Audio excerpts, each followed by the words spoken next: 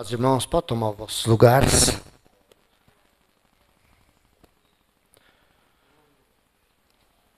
Estaremos lendo dois versículos do capítulo de número 125 de Salmos, Salmo número 125, o primeiro e o segundo. Os que confiam no Senhor serão como o monte de Sião, que não se abala, mas permanece para sempre. Como estão os montes à roda de Jerusalém, assim o Senhor está em volta do seu povo, desde agora e para sempre. Amém.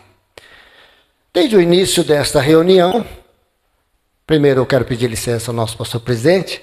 Ele me ligou pela já acho que pelas voltas 18 horas, 18 alguma coisa, e me disse: Olha, eu vou no culto, mas não vou, é, vou fazer outro trabalho lá, vou estar lá na, na reunião, mas no final. E você prepara uma palavra. E o Senhor, eu fui buscar a Deus, né? E o Senhor me deu essa palavra, eu quero trazer para a igreja do Senhor. E desde os primeiros louvores aqui nessa noite, nós cantando e adorando a Deus, e Deus já estava falando conosco, levando-nos a confiar no Senhor. Irmãos, se estamos aqui hoje, se estamos aqui nessa reunião, é porque nós confiamos no Senhor. Nesse cântico dos degraus, o salmista, ele convida-nos a confiar no Senhor. Ele diz: Os que confiam no Senhor serão como os montes de Sião que não se abalam, mas permanece para sempre. Nós atravessamos um tempo de crise, nós atravessamos momento de pandemia, nós atravessamos momento que a gente sonhava em estar na igreja. Algumas vezes eu sonhei no culto, mas a gente não poderia vir no culto, por quê? Porque era proibido o crente reunir aqui na casa do Senhor por causa da pandemia. Foi um momento difícil, um momento complicado. Sirva a Deus desde a minha infância. Eu nunca tinha presenciado momentos como a igreja atravessou nesse período de pandemia, aonde pessoas morriam, aonde a gente ouvia alguém foi entubado, alguém morreu, e não pôde fazer velório.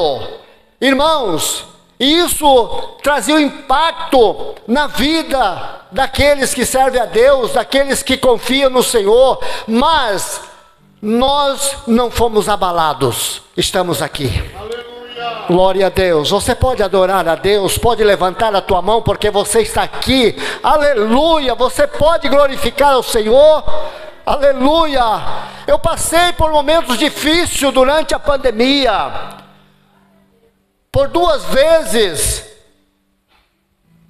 eu contraí o vírus. A primeira vez parecia até que eu não iria suportar. Me atingiu o pulmão. E parecia que estava chegando o momento que eu, eu teria que ficar é, internado no hospital, mas o pastor Jovair, mesmo proibido de ir na casa de alguém que estava com Covid, o meu pastor, volta e meia, chegava lá e sempre estava intercedendo a Deus a nosso favor, a favor da minha esposa, dos meus filhos, porque nós estávamos com Covid, aleluia, e parece que tinha momento que eu queria desesperar, mas eu confiava no Deus Todo-Poderoso que nunca perdeu o controle. Deus nunca perdeu o controle da situação, ainda que seja mais difícil que você acha que é o momento que você atravessa, mas se você confia em Deus, Deus está presente. Deus está presente. Aleluia! Ainda que o momento seja difícil, ainda que seja, parece que a negridão das trevas se aproxima, mas sempre vai raiar a luz sempre nasce uma luz nas trevas. Aleluia! E você consegue atravessar. Glória a Deus. Eu me lembro, tinha vez que eu ia no banheiro. Banheiro dentro de casa, da sala, o banheiro divide a sala e a cozinha. E eu ia no banheiro. E quando eu voltava, eu tinha que me deitar, porque era uma canseira. Era uma canseira tão grande que parece que ia faltar o fôlego. Mas Deus estava presente. Aleluia. Pastor Jovair passou por isso. Irmã Zenília passou por isso. Né? A Nani passou por isso mas continuamos confiando naquele que nunca dorme, aquele que está sempre, aleluia, atento. E a Bíblia diz, lá no Salmo de número 113, que ele abaixa para ver os que estão na terra, aleluia. E eu creio que ele abaixa para ver aqueles que confiam nele, aqueles que acreditam que ele está presente e é que ele que dá a vitória. Aleluia, glória a Deus. Esse cântico dos degraus nos leva a confiar em Deus. Os que confiam no Senhor serão como os montes de Sião. Aleluia. Os montes de Sião. Vem o vento, vem a tempestade, mas o monte está lá. Glória a Deus. E quem confia em Deus é do mesmo jeito, irmãos. Você pode adorar a Deus nessa noite. Se você confia em Deus, pode ter certeza, como disse irmã Elídia aqui nessa noite, aleluia. Se Jesus não curar, mas Ele usa o médico, Ele usa alguém para te abençoar. Mas uma coisa eu sei: você vai ser abençoado. Você vai ser abençoado, porque Deus cuida. Aleluia! Deus está presente em todos os momentos da nossa vida. Glória a Deus. Os que confiam no Senhor permanece para sempre. Eu sirvo a Deus desde a minha infância. Eu já passei por muitos momentos difíceis, momentos complicados. Aleluia! Mas olha eu aqui. Estou aqui. Aleluia! E eu creio que você pode levantar a tua mão e dizer: Eu também estou aqui. Aleluia! Momentos difíceis, momentos que Satanás se levantou, furioso, mas ele se levantou para cair, porque nós confiamos no Senhor. Nós confiamos em Deus, o Todo-Poderoso. O hino, um dos hinos que foram cantados aqui nessa noite, o cento, o 491, tem uma estrofe lá do hino que eu ouvindo os irmãos cantando, aleluia, eu me alegrei, porque diz lá na estrofe: Confia em Jesus para ele que ele vai te curar. Confia em Jesus para te dar saúde. Confia. Se você entrou aqui enfermo nessa noite, eu não sei a situação que você entrou aqui nessa noite, mas se você confia em Deus, você vai sair daqui com a tua benção nessa noite, com o teu milagre. Aleluia, porque o Senhor é poderoso. Verso de número 2: Como estão os montes? Como estão os montes à roda de Jerusalém? Assim o Senhor está em volta, em volta do seu povo, desde agora e para sempre. Irmão, que privilégio! Que privilégio você servir a Deus e saber que Deus está cuidando de você. Glória a Deus.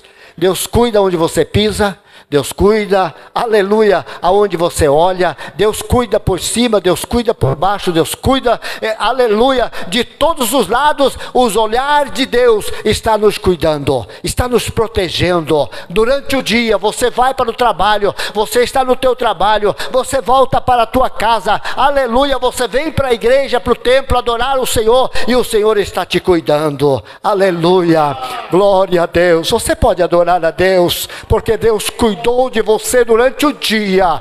Aleluia!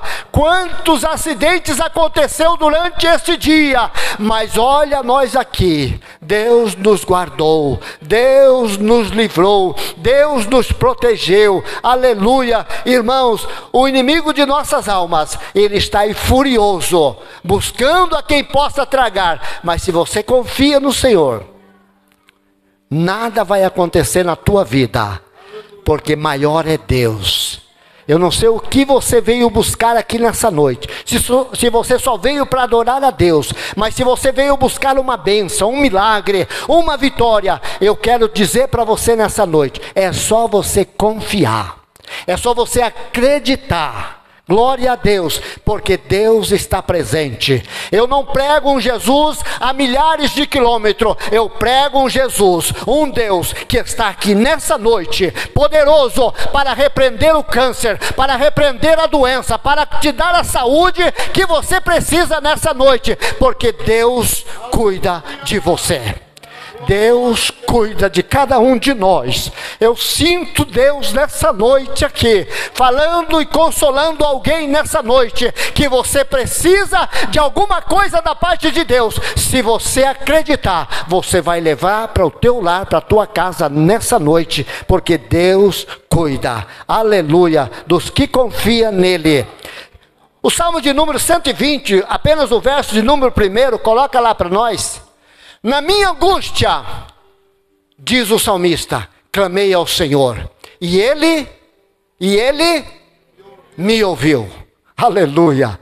Na minha angústia. Sabe aquele momento parecia ser tão complicado que você olhou para frente, você não viu saída. Você olhou à retaguarda, você também não viu saída. Você olhou à direita, à esquerda, mas você não viu saída. Aleluia! Mas para cima tinha um escape e o Senhor te deu escape e você conseguiu prosseguir na caminhada. Glória a Deus. Na minha angústia, clamei ao Senhor. Glória a Deus. Irmãos, quando alguém que confia em Deus clama ao Senhor, Deus responde. Ou sim ou não, mas Deus responde. Deus não deixa sem resposta quando nós confiamos e nós buscamos a Ele de verdade. O Salmo de número 124, o 1, o 2 e o 3. Se não for o Senhor, isso aqui é um cântico de Davi, Davi dizendo: Se não for o Senhor que esteve ao nosso lado, ora, diga a Israel, se não fora o Senhor que esteve ao nosso lado, quando os homens se levantaram contra nós, eles então nos teriam engolido vivos quando a sua ira se acendeu contra nós. Irmãos, existem momentos na vida de quem confia em Deus, que se não for Deus livrar, se não for Deus entrar em ação, os nossos inimigos nos engolem vivo. Mas Deus está presente. Davi, ele sabia disso. Davi, ele confiava em Deus porque ele sabia que momentos difíceis ele tinha atravessado. Muitas vezes Saul queria tirar-lhe a sua, a sua vida, mas por ele confiar em Deus, Deus o livrara. Deus dava livramento. Aleluia!